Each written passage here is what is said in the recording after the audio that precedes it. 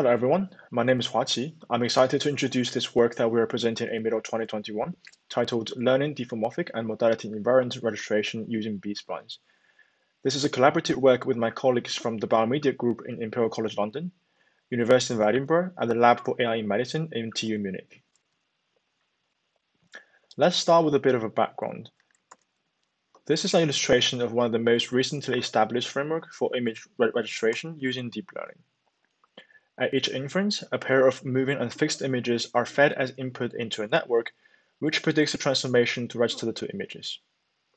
The parameters of the network are typically trained um, to minimize the dissimilarity loss and the regularization loss over a training dataset using stochastic gradient optimization. This can be viewed as learning an amortized optimization since the same network is trained to predict the optimal transformation for many pairs of images. In our paper, we focus on providing alternatives for two important components of this framework, the transformation and the intensity-based similarity loss used to train the networks. First, the transformation.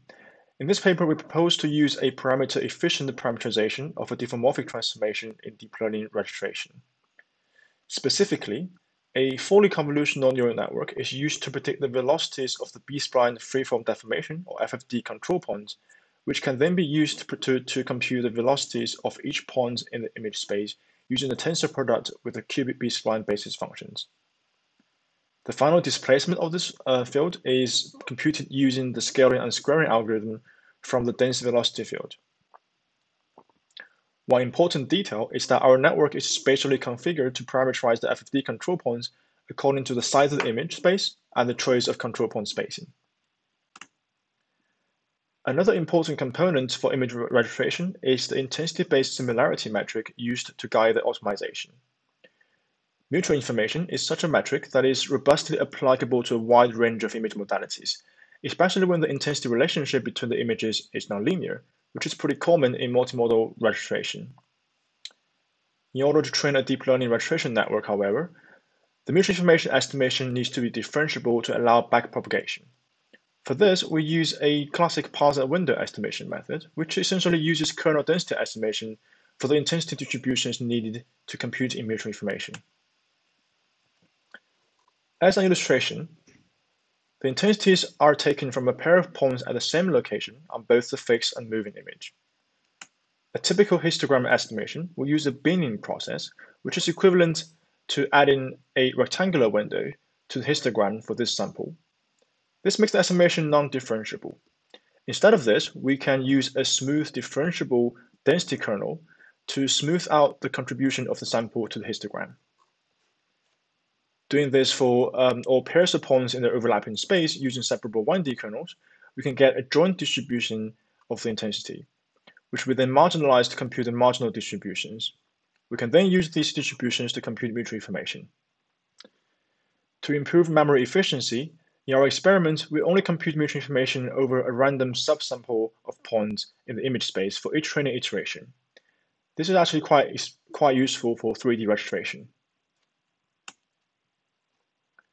For experiments, we evaluate our framework firstly on the inter-subject registration of 3D brain MR images, both T1-T1 and T1-T2. We also evaluated on intra-subject registration of 2D cardiac MR images, between the end diastolic frame and the end systolic frame. Compared to our baselines, we firstly find that our method is a little less accurate, but significantly faster compared to traditional pairwise iterative algorithms using the same um, transformation as we do. Secondly, compared to deep learning baseline, which uses a dense network, for example, a UNet, we found that our method achieves comparable accuracy and transformation, uh, transformation regularity, but it's much faster and uses less parameters. We also found that mutual information performed comparable to, um, to localized normalized cross correlation um, across our experiments.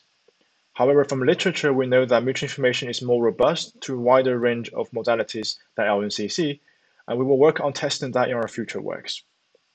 On the right here, you can see some examples of the registered T1, T2 images using different methods. We refer the audience to the paper for more quantitative and qualitative results.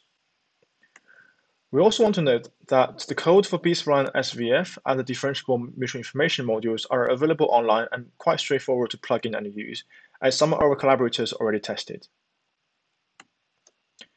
Thank you very much for your attention, and we hope to see you in the live discussions in GatherTown.